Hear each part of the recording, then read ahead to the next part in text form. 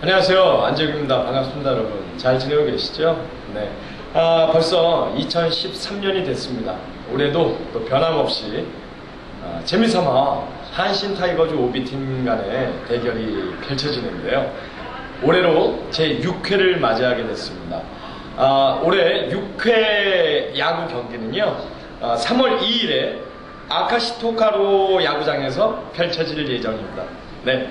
자, 여러분들을 위한 또 물론, 어, 전야제도 준비가 되어 있으니까요. 많은 분들의 참여 부탁드리고요. 어, 야구장 직접 오셔서 또 응원 많이 보내주시기 바라겠습니다.